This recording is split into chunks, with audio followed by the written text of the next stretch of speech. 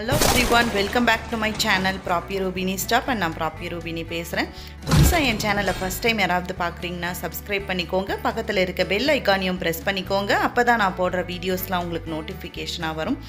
இன்றைக்கி நம்ம ஒரு ரெசிபி பார்க்க போகிறோம் வத்த குழம்பு எப்படி பண்ணுறதுன்னு பார்க்க போகிறோம் இது பார்த்திங்கன்னா ரெஸ்டாரண்ட் ஸ்டைலில் நம்மளுக்கு மீல்ஸ் கூட சர்வ் பண்ணுற வத்த குழம்பு.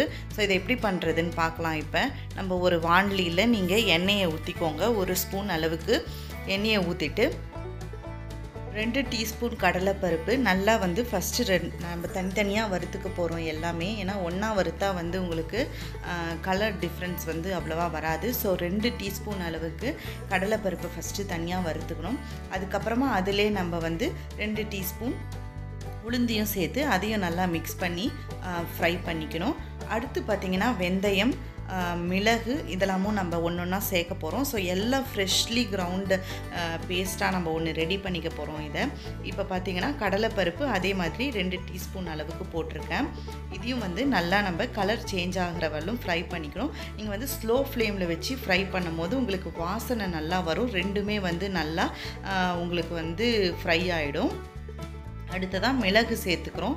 மிளகு பார்த்திங்கன்னா அரை டீஸ்பூன் அளவுக்கு சேர்த்துக்கிறோம். ஏன்னா காரத்துக்கு நம்ம மிளகாவும் சேர்த்துக்க போகிறோம் அதனால் உங்கள் காரத்துக்கு ஏற்ற மாதிரி நீங்கள் ஆட் பண்ணிக்கலாம். அரை டீஸ்பூன் அளவுக்கு மிளகு சேர்த்துட்டு அதையும் நல்லா வ வறுத்து எடுத்துருங்க. அதுக்கு அடுத்தது வெந்தயம் ஆட் பண்ண போகிறோம் வெந்தயமும் அரை டீஸ்பூன் ஆட் பண்ணால் போதும். வெந்தயமும் அரை டீஸ்பூன் போட்டு நல்லா வறுத்துக்கோங்க. அது வாசனை வரை வரலும். நல்லா வாசனை வந்ததுக்கப்புறம் ஜீரகம் ரெண்டு டீஸ்பூன் சேர்த்துக்கிறோம். ஜீரகம் ரெண்டு டீஸ்பூன் இருந்தாலுமே நம்ம வந்து அடுத்தது தனியா சேர்த்துக்க போகிறோம் தனியா பார்த்திங்கன்னா நாலு டீஸ்பூன் சேர்த்துக்கிறோம். ஏன்னா வந்து நல்ல ஃப்ளேவர் கிடைக்கும் நம்மளுக்கு வத்த குழம்புக்கு. அதனால் தனியா நாலு டீஸ்பூன் சேர்த்துக்கிறோம். ஸோ இதில் பார்த்தீங்கன்னா கடலைப்பருப்பு உளுத்தம் பருப்பு ஜீரகம் இதெல்லாம் ரெண்டு டீஸ்பூன் சேர்த்துட்டு மிச்சதெல்லாம் வந்து ஒரு டீஸ்பூன் சும்மா ஆட் பண்ணால் போதும். இப்போ நம்ம அரிசி வந்து ஒரு டீஸ்பூன் அளவுக்கு ஆட் பண்ணிக்கலாம். இது எல்லாத்தையும் போட்டு நல்லா வறுத்ததுக்கப்புறம் வாசனை வந்ததுக்கப்புறம் கூட கருவேப்பிலையும் கொஞ்சமாக பச்சையாக இருக்கிறத சேர்த்து அதையும் ஒரு ரெண்டு வறு வறுத்துட்டு தனியாக நீங்கள் எடுத்து வச்சுருங்க. இது கூட மிளகாவும் சேர்த்துக்கோங்க. வர மிளகாயும் சேர்த்து நல்லா நம்ம வறுத்து எடுத்துக்க போகிறோம் உங்கள் காரத்துக்கு ஏற்ற மாதிரி நீங்கள் வர மிளகாயும் ஆட் பண்ணிக்கலாம். இப்போ இதெல்லாம் நல்லா ஆறின பிறகு நம்ம மிக்சியில் போட்டு நல்லா பொடியாக்கி எடுத்துக்கணும். நல்லா உங்களுக்கு ஃப்ரை ஆனதும் வாசனை வரும். இது நம்ம எடுத்து இப்போ அரைச்சி எடுத்துக்கலாம். அதுக்குள்ளே பார்த்தீங்கன்னா அடுத்து நம்மளுக்கு வத்தக்குழம்பு வைக்க தேவையானதுக்கு கொஞ்சமாக ஒரு இருபது இருபத்தஞ்சி சின்ன வெங்காயம் பூண்டு அதுக்கப்புறம் தக்காளி இதெல்லாம் நறுக்கி வச்சுருக்கோம். இதெல்லாம் நம்ம வந்து அதே வானலியில் எண்ணெயை விட்டு வர வதக்கி எடுத்து அரைக்க போகிறோம் அதையுமே நம்ம பேஸ்ட் ஆக்கிக்க போகிறோம் ஸோ இப்போ நம்ம எண்ணெயை ஊற்றியாச்சு அதே வானலியில். எண்ணெய் நல்லா காஞ்சதுக்கப்புறமா நம்ம சின்ன வெங்காயத்தை போட்டு நல்லா ஃப்ரை பண்ணிக்கோங்க. சின்ன வெங்காயம் நல்லா ஃப்ரை ஆனதும் அதுக்கப்புறம் நம்ம தக்காளி பூண்டு இதெல்லாம் சேர்த்துக்கலாம். ஸோ இது கொஞ்சம் நல்லா வதங்கட்டும். உங்களுக்கு வந்து கலர் சேஞ்ச் ஆகும். நல்ல டிரான்ஸ்லூசன்ட் கலர் வரும். இது வந்து நம்ம நல்லெண்ணெயில் வறுக்கும் போது பார்த்திங்கன்னா வத்த குழம்புனா எப்பயுமே நம்ம நல்லெண்ணெய் தான் யூஸ் பண்ணணும். நல்லெண்ணெய் வந்து உடம்புக்கு ரொம்பவே நல்லது.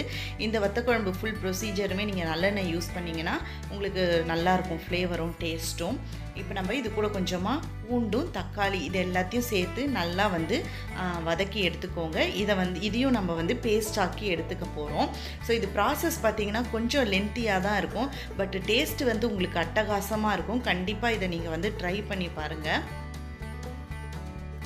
ஸோ இப்போ இது எல்லாத்தையும் நம்ம ஆற வச்சு அரைச்சி எடுத்துப்போம். அதுக்குள்ளே பார்த்திங்கன்னா திருப்பி நம்ம வானலி வச்சு அது நல்லா சூடானதுக்கப்புறம் கடுகு உளுந்து ஆட் பண்ணிக்கலாம். இது நல்லா பொரிஞ்சதுக்கப்புறமா நம்ம திருப்பி வெங்காயத்தை வதக்கிக்கலாம். இப்போ வந்து வத்த குழம்பு வைக்கிறதுக்கான வெங்காயம் பூண்டு இதெல்லாம் நம்ம ஆட் பண்ணிக்கலாம். இது கூட வரமிளகாயும் கொஞ்சம் தாளிச்சுக்கோங்க. கொஞ்சம் காரத்துக்காக தாளிப்புக்கு.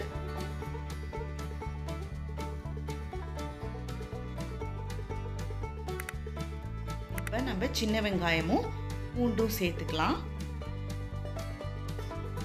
நல்லா வந்து இதுவுமே கலர் வந்து சேஞ்ச் ஆகிற அளவுக்கு வதங்கணும்.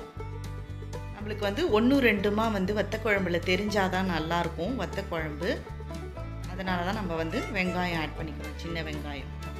இது கூட பூண்டு பல் சேர்த்துக்கலாம்.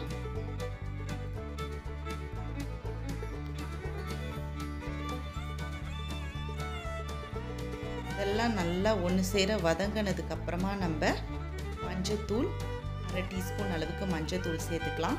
அப்புறம் காஷ்மீரி சில்லி வந்து ஒரு ஸ்பூன் நல்ல கலர் கொடுக்கும் அதுக்காக. அப்புறமா பெருங்காயத்தூள் சேர்த்துக்கலாம்.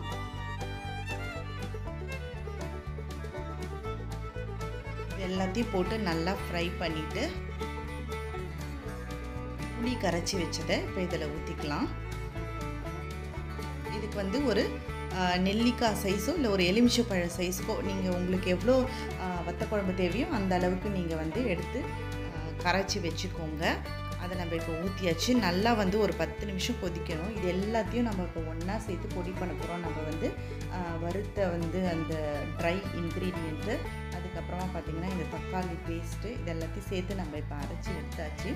இதை வந்து நம்ம வத்தக்குழம்பு நல்லா கொதித்ததும் அதில் கொட்டி ஸ்மூத்தாக இந்த பேஸ்ட்டை வந்து நம்ம மிக்ஸ் பண்ணி எடுத்துடணும். மிக்ஸ் பண்ணி அது ஒரு பத்து நிமிஷம் நல்லா கொதிக்கணும். அந்த மசாலா ஃப்ளேவர்ஸ்லாம் அதில் இறங்கணும். இதுக்கு தேவையான அளவுக்கு நம்ம உப்பு சேர்த்துக்கோங்க நீங்கள் ஃப்ளேவருக்காக அப்புறம் இப்போ பார்த்தீங்கன்னா ஒரு பத்து நிமிஷம் கொதிக்க விட்டு எடுத்திங்கன்னா நம்மளோட வத்தக்குழம்பு சூப்பராக ரெடி ஆகிடுச்சு ரெஸ்டாரண்ட் ஸ்டைலில் இருக்கும். ஸோ கண்டிப்பாக இதை ஒரு நாள் ட்ரை பண்ணி சாப்பிட்டு பாருங்கள் எப்படி இருந்ததுன்னு கமெண்ட் செக்ஷன்லேயும் மறக்காமல் எனக்கு மென்ஷன் பண்ணுங்கள் இந்த வீடியோ பிடிச்சிருந்ததுன்னா லைக் பண்ணுங்கள் ஷேர் பண்ணுங்கள் சப்ஸ்கிரைப் பண்ணுங்கள் மறக்காமல் அந்த பெல் ஐக்கானையும் ப்ரெஸ் பண்ணிக்கோங்க. அப்போ தான் நான் போடுற வீடியோஸ்லாம் உங்களுக்கு நோட்டிஃபிகேஷனாக வரும். அண்ட் தேங்க்ஸ் ஃபார் வாட்சிங்